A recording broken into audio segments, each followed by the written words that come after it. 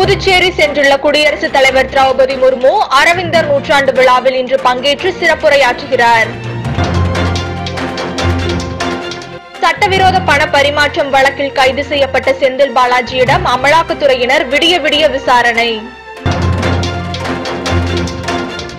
நள்ளிரவில் நடிகர் ரஜினிகாந்தை பார்க்க போயஸ் கார்டன் வந்த பதினைந்து வயது சிறுமியை பாதுகாவலர்கள் மீட்டு தேனாம்பேட்டை காவல் நிலைய போலீசாரிடம் ஒப்படைத்தனர். அதிமுக முன்னாள் அமைச்சர் திண்டுக்கல் சீனிவாசன் உடலில் ஏற்பட்டுள்ள கட்டியை அகற்ற சிகிச்சை பெறுவதற்காக ஆயிரம் விளக்கும் அப்பல்லோ மருத்துவமனையில் அனுமதி.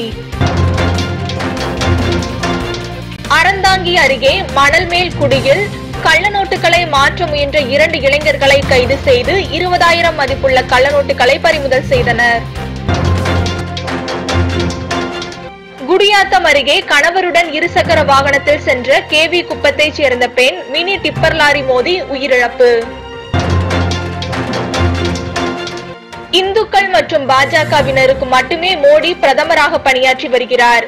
பிரதமர் மோடி மாய உலகில் வாழ்ந்து வருகிறார். அவரது பேச்சு நடத்தை உடல் மொழி அனைத்தும் அப்படித்தான் உள்ளது என ராஜஸ்தான் முதல்வர் கெலாட் விமர்சனம்.